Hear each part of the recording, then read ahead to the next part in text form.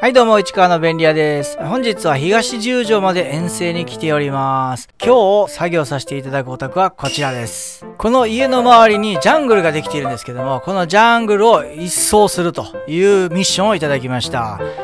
7メートル、8メートルを超えている木が合計10本以上あるんですけども、はい、この中で一番左にある梅の木以外を全部切ってほしいということですね。そして下に生えているツタですとか草の除去もしていくということです。はい、こちらの左側が梅の木ですね。はい、それ以外は全部取っていきますね。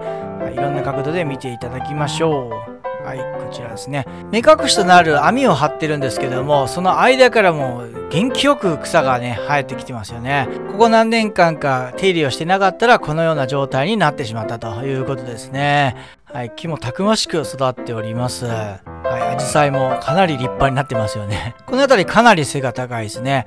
もう屋根に届いてますから、おそらく8メートルぐらいになるかと思うんですけども、はい、こちらもどうやって切ろうかなってね、ちょっと悩みましたけども、この後ダイジェストでどのようにこれを攻略していったか見ていただけたらと思います。はい、そして向かって左の物置の間ですね、抜けていきまして、家の側面ですね、入っていきたいと思います。はい、かなりジャングルの探検をしているような気分になりましたね。はい、室外機の周りですね、この辺りもね、草を取らないとね、なかなか熱交換がうまくいきませんからね、はい、早く救い出してあげたいなと思いました。はい、そして使わずに、そのままになっていたコンポストですね。ねこういったものがあちこちに埋まっておりますので、それを発掘するようなね、宝探しのような感覚で今日は楽しませていただこうかなと思っております。数年前に切ったと思われる切り株もありますよね。はい、何度か手入れはしているんですけども、やっぱり草木の力の方が強いわけですね。勢いがあるということでね、なかなか手に負えないところもあったと思うんですけども、今回は念入りにこちらの家の周りの草木手入れしていきたいなと思っております。それでは今回も早送りで見ていただきましょう。3、2、1、スタートです。さあ始まりました。まずは物置の裏手にある木からですね、こちらの木も数年前に一度切られてたようですね、太い幹が途中でなくなっていましたから。はいそうですね。その切り口が今見えてきましたね、はい、この辺りからまた生えてきちゃったんですね、はい、それをさらに今度は切り詰めるということですね。今回電動のこぎりがあったのでかなりやりやすかったですね。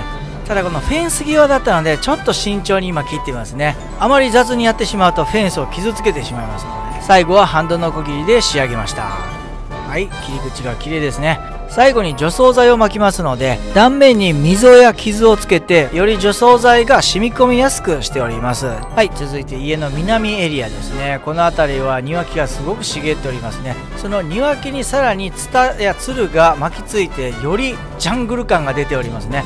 まずはこのツタをね取ってる作業ですね。その後に木の枝を切っております。はい、続いて隣の木ですけどもかなりこんもりツタが茂っておりましたけどそれを一気にこれ今流し落とす感じでね取れましたね。さてコーナーを曲がりまして木を切っておりますけども。はい家が見えてきましたね。これ気持ちいいですね、はい、高枝切りのこぎりで切っておりますけども。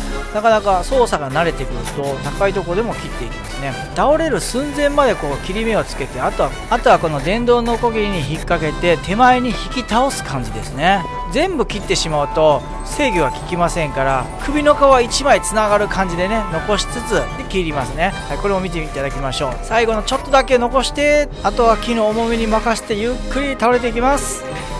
倒れる。するとコントロールしやすいわけですね、はい、それで倒れたものをこうやって細かく切っていく、ね、解体作業ですね。なんかクジラが浜に打ち上げられた後のね解体作業みたいな感じになってますけども。はい、続きまして家の北側ですね。こちらは大きな木が多いですね。すごい幅が3 0センチぐらいの狭い花壇だったんですけどもそこにこんなに生き生きとたくましく木が育ってるんですね。ここまで大きいと倒れた時の衝撃がすごいので木が倒れた時に道路を傷つけないようにしないといけない。倒す角度や勢いを殺しつつ倒していかなきゃいけないってね。なかなか計算が必要もしくは物理の計算が必要なねちょっと頭を使う作業だったなと思います。はい、今やってるのが今回一番の強敵モミジですね。モミジっていうのはもう英語ではメープルなわけですけどもメープルの木っていうのは最近野球のバットで使われるぐらい硬い木なんですね。昔は青玉だったんですけど青玉がなくなってきたのでそれに変わるのがメープルということですね。のメープルがなかなか切れなかった。これが大変でしたね。あまりにも硬くてなかなか切れないもんですから電動ノコギリの電池が切れてしまいましたので一旦小さい方の電動ノコギリで他の木を切っている最中ですね。あと剪定ばさみで枝を切ってその枝を下に敷いて今度はショック吸収剤の代わりにしようかなという作戦ですね、はい、こちらのヤシの木みたいなやつもこう切ってですね下に敷いてクッションにできたらなと思ってます。この辺りはねあまり詰まってる感じじゃないので割と切りやすかったんですけどただ周りに毛があったのでそれが切りにくかったですね。さあ充電が完了しまして再度メープルに挑戦しております。なかなか切れないですね。硬いんですよ。なかなか刃が通らないんですよね。はい苦戦しております。しかも節のところを切っておりますので余計硬いんですね。はいこの辺りまだ下手くそだなって自分で思いました。その節を避けて切っていかなきゃいけないですよね。ただね切りにくい角度だったりするのでなかなか一概に節を避けてっていうのは難しいところではあるんですけども、はい、この辺り経験ですよね。はい。走行してるうちに日も暮れまして今日はこの辺りで終了となります。とりあえず全ての木をある程度のところで切ることができました。いや表情にできるとは思わなかったけどこの残差というか残骸ですね。これから片付けなきゃいけないので、それも大変ですけど、とりあえずさっぱりさせることができたので、まあ良かったかなと思います。一番やっぱ手強かったのが、あそこのもみじですね。一番硬いです。で、このヤシの木、もどきのやつは、割と切るのが、あの、柔らかかったんで簡単でした。はい、最初に、一番最初に切ったやつ。懐かしいですね。はい。こちらもスッキリしました。結構アリに噛まれたりとかして、いろんな戦いがありましたけども、比較的スムーズにいったんじゃないでしょうか。はい、下の草はまだ残ってますけども、とりあえずは木の伐採は成功したかと思います。はい、これだけ、これだけ出ましたね。袋に今入りきらないぐらいです。ここはあまり変わってないですけども、最後仕上げに除草剤を切り株に散布していこうかなと思っております。はい、とりあえずはお疲れ様でした。ありがとうございました。はい、今回はラウンドアップという除草剤を使わせていただきました。これ希釈して使うタイプなんですけども原液のままこの傷口に塗り込んでみました。もう生えてこないことを祈ります。といった感じで6時間作業させていただいたんですけどやはり日暮れまでに全部やるっていうのは難しかったのでまた後日やってきて低い木を切ったり草を抜いたりツタを取ったりという作業をさせていただこうかなと思っております。はいとりあえず今日はこの霧のいいとこで終わらせていただくことができまして一旦ここでお会計ということになりました。本日の作業料いただいた金額は3万円でした。どうもありがとうございました。はい。板橋までね、結構1時間半ぐらいかかるんですけども、はい。それに見合う十分な報酬いただいたと思います。ありがとうございました。ここで終わるかと思いきや、実はこの続きの作業、昨日させていただきまして、早速動画作らせていただきました。よろしければそのままご覧ください。どうぞさあ、残りの作業を仕上げるためにやってまいりました。ではまずは、アジサイの方から切っていきたいと思います。3、2、1。スタートです。はい例によってダイジェストですね。早送りで見ていただいております。結構アジサイっていうのは左右にしなるんですね。どっちかというと木というよりも草ですから硬い幹を切るための電動のこぎりっていうのは結構苦手な植物だなっていうふに思いました。結構しなって逃げちゃうんですね力がね。ですからこういった剪定バサミで切った方が確実に切れましたね。やっぱその植物植物によって道具を変えていく方が効率的だなと思いました。改めて思いましたね。本日一番の山場と思われるこの物置の奥のお庭の部分ですね。今ここでの作業をするために動線を確保しているということなんですね。そしてそのお庭への扉が今開きました。さあここから入っていって中を確認しましょう。前回この物置の前のところまでで限界でしたからこの先の部分っていうのは未開拓のままでした。はい出ましたね。こんな感じでいろんなものがあったり植物が生き生きと伸び放題となっておりますね。ここの辺りをですねさあどうやって攻略していくかですけどもはいまたコンポストありましたね。被害機ありました。前回は木が茂っていたので暗かったんですけども木がなくなっただけでもだいぶ視界が見やすくなってますね。明るくなりましたね。でも中身は変わっておりません。茂り具合は変わっておりません。なぜならば何もしていなかったからですね、はい、この辺りツタが茂っておりますけどもさあツタが先なのか庭木を先に切るのかこれ悩みどころですけども結局大きなものを切っていかないと足場がよく分かんないっていうことで、はい、まず木を切っていくことにしました、はい、枝を取って幹を切っていくこの順番ですね。いきなり幹切ってもいいんですけども結局後で倒れた状態で枝を切っていかなきゃいけなくなるのでそれだったら生えてる状態でまず枝を切っていった方が処理がしやすいんですね。はいこの辺りの順番も考えつつ結構計算をしながら作業しないといけないなっていうことがね改めて思い知らされましたね、はい、そして服の木も切ってますね、はい、まず枝を切ってで細かく切り刻んでいくという作業ですね。えー、枝、ね、大きさに合わせて道具も変えつつですね。さあこの辺り慎重にですねまたフェンスを切ってしまってはいけないのでカメラアングルを微調整しつつ、はい、この辺り消えるかな？はい。はい切れましたね。よかったよかった。地面が見えつつありますね。さあ細かい木を運び出して。さあ視界を確保するためにねカメラの前にブロックしているものを今排除している最中ですね。なるべく根元の方から今度は切っております、はい、大きな丸太取れると楽しいですね。なんか大きな収穫があったようなねそんな感じがしますけども。そして腐った丸太がありますけどこれがなかなか抜けなかったんですね。ちょっとひねりつつ左右に動かしてあ取れましたね。はいこれで視界確保でゴミを運び出しましてはいだんだん足場が良くなってきました。広くなってきましたね。はいようやく本来の庭が見えつつあります。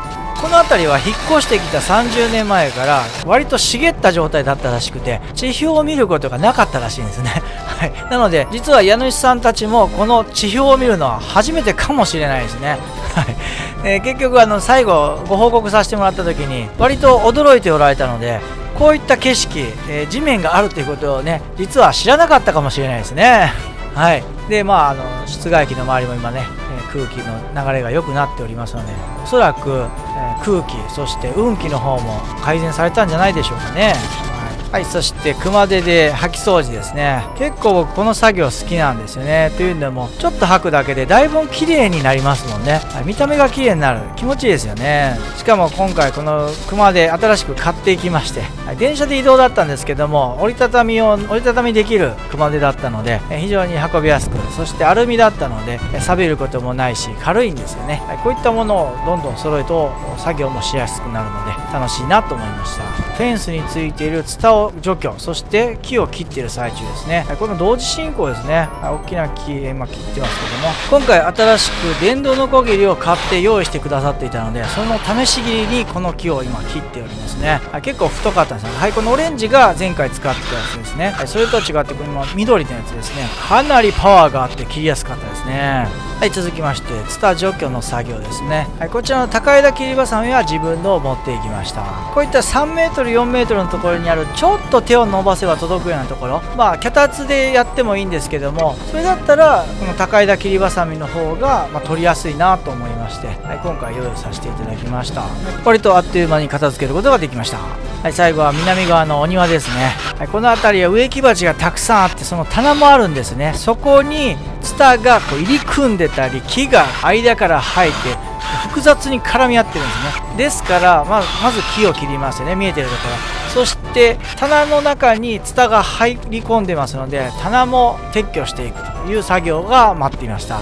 結構これが時間かかりますね。あと植木鉢何個あるのか個人的に気になって数えてはいたんですけども50個超えた時点でもう数えるのを諦めました。それよりも作業に集中しなくてはと思いまして。この辺り地味なんですけども時間かかるんですね。というのもフェンスの中にこのツタがねもう絡んでってそれを一個一個取らなきゃいけないんですよね。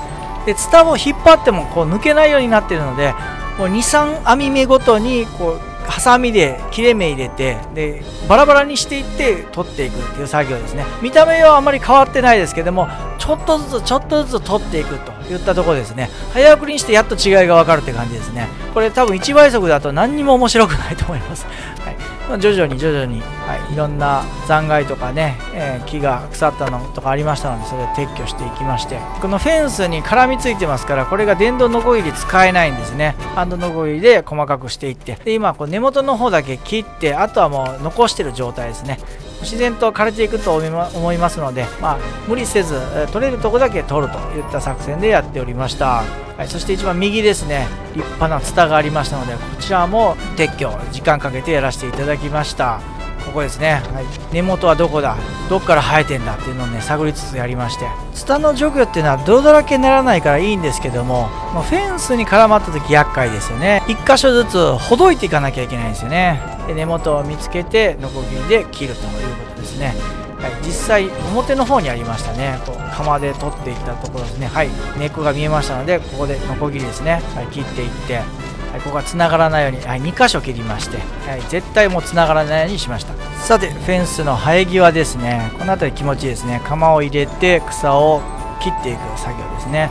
やっぱ木に比べたら草っていうのは釜でスッと切れますからね。あっという間にもうこうやってバラバラにできましたね。はいそして熊手で集める、はい、この作業一番気持ちいいですね。さっと綺麗になってきますからね。はい見た目いいですね。はい、こちらも手前から草をどんどん生え際のを取っていきまして最後は熊手で集めていくということですね。はいすっきりしました。まだ日暮れまで1時間ぐらいありましたので長めに切り残していた切り株をさらに切り詰めるという作業をやっております、はい、切った後に傷をつけて除草剤を染み込ませやすくしましたね。はい、続いてこちらの木は半分枯れてスカスカだったんでかなり切りやすかったですね。これは毛が絡まるので気をつけつつ切りました。続いてこちらが水分が多いのでこれもかなり切りやすかったですね。最後は断面に溝を掘って除草剤のラウンドアップを吸わせやすくしてそれぞれの木にラウンドアップを巻いていって終了と。では作業終了後の家の周り見ていきましょう、はい、結構暗くなってきたんですけどもなんとか日暮れまでに終わらせることができてよかったです。はい切り株が目立ちますね。はい棚を撤去した後見受けられます。はいまだでっかい木が横たわっていますけどもこの後片付けました。はいそしてこちら逆サイドからの景色ですね。はいすっきりしましたね。最初は木が茂ってうっそうとしてたんですけどもだいぶ明るくなったように思われますね。はい物置の裏もすっきりしましたね。23本木が生えてましたけどもそれがもう見えなくなりましたね。さあ第1コーナー曲がりまして順番に見ていきましょう、はい、フェンスの下から生えた草もすっきりしたのでだいぶ見やすくなったと思います。そして家の壁が全く見えてなかったんですけど今見えるようになりましたね。逆に今度目隠しが必要になりましたね。はいそして第2コーナー曲がりまして最終コーナーに差し掛かっております、はい、梅の木だけ残った状態で他の木がもう全滅となっておりますね。すっきりしましたっていうかなんか風邪ひきそうなぐらい あの風通しが良くなりましたね。そして今回切った草木ですね。見てみましょう。はいこんだけですね。はい駐車場にもパンパンに敷き詰められておりますね。もう奥のバイクとか取り出せないぐらいになりましたね。はいそしてこちらにも木の幹がたくさん横たわっておりますね。はい丸太ですね。はい。はい、そして植木鉢がたくさん並んでたエリアですね。そして右手のフェンスにはツタが絡んでいましたけども、すっきりしましたね。左手の棚の方はご自分で後で整理するということなので、そのまま置いてあります。はい、このように切った後ですね。こちらには除草剤を巻いておきます。はい、そして進んでいきまして、はい、まあ、新たな株、切り株が見つかりました。はい、逆サイドから見た感じ。はい、だいぶすっきりしましたね。気持ちいいですね。はい、ここにあったツタも撤去しております。はい、で、この室外機の間ですね。はい、こちらも大丈夫ですね。はい、だいぶ景色が変わったんじゃないでしょうか。はい、このフェンス際。はい、すっきりしました。あのビールラックがあったことも気づきませんでしたし、水場、はい、ホースとかもね、かなり地中に埋まってたんですけど、それ発掘して、また使えるようになりました。よかったです。さあ、物置の近くの大木ですね。大木を切った後。はい、逆サイドから見ました。はい、これ、後でビフォーアフター比べますけども、だいぶ違ってましたからね。はい、見てて面白かったです。さあ、植木鉢。もう、ざっと見ただけで、これ多分50とかありますよね。はい、結構、あちこちから発掘することができました。はい。はい、そして切り株ですね。なんかウォーズマンのベアクローにやられた後みたいになってますけどもね。はい、続いてこちらもですね。はい、切り株にはバッテン印つけておきました。はい、ここから除草剤吸っていただけたらと思います。こちらメープルですね。かなり硬いので、なかなか溝が掘れませんでしたね。一方、こちらは溝が掘りやすかったですね。こんだけ深く溝を掘ることができました。やっぱり木によって全然密度が違うんですね。はい、こんな感じで日暮れまでに作業を終わらせることができました。よかった。では最後、ビフォーアフターの写真を比べていきましょう。はい。最初はこんな感じでジャングル状態でしたね。20日前の状態です。それがこうなりました。だいぶ明るくなりましたね。そして家がなんか細くなった感じ。あの濡れた猫みたいな感じですね。はい。毛がなくなったみたいなね。はい。こちら南側ですけども、こうなりました。すっきりしましたね。そして梅がすくすく一人勝ちで育っていってもらえたらなと思いますね。はい、別アングルですけども、こちらがこうなりましたね。いいですね。うちも梅を育ててるんですけれども、だいたい150個ぐらい梅がなりますね。はい、梅酒を作って飲みましたね。続きまして北側の植木ですけども、こちらがこうなりました。これ終わんのかなって最初不安になりましたけどね、えー、なんとか終わらせることができました。はい、こんなにスッキリ。全然印象違いますね。はい。こちらのアジサエリアですけども、さあどうなったかというと、こうなりました。気持ちいいですね。ちょっとまだ作業の跡が残ってますけども。はい。最初これですよ、これ。ジャングルの探検に行く感じですよね。はい、こうなりました。気持ちいいです。ちょっと棚がまだ残ってますけどね。はい。こちら室外機の周りですけども、どうなったかというと、こうなりました。気持ちいいですね。地面が見えてるって感じですね。はい。そして南側のお庭ですね。さあどうなったでしょうかこうなりました。やっぱ草がなくなるだけで印象が違いますね。はい。その他こんな感じですね。はい。丸太を積んでるエリア。そして駐車場がパンパンになって。さあどうやって片付けましょうってなりますけどね。はい。ということで無事終わってよかったと思います。そして今回いただいた報酬ですけども、3万円いただきました。ありがとうございました。ということで、前回いただいた3万円と今回の3万円合わせて6万円という報酬をいただきました。どうもありがとうございました。今回かなり大きな木を相手にしまして、自分としてもかなり経験値が上がったなと思いますので、こういったね、5メートル、6メートル、3階にかかるような大きな木でも切れることが分かりましたので、こういった木の伐採とかね、悩んでる方いたら、ぜひともご連絡いただけたらと思います。よろしくお願いします。お見積もりは LINE またはメールでお問い合わせください。草抜き、剪定、伐採、抜根、家具の組み立てなども対応しております。ご連絡お待ちしております。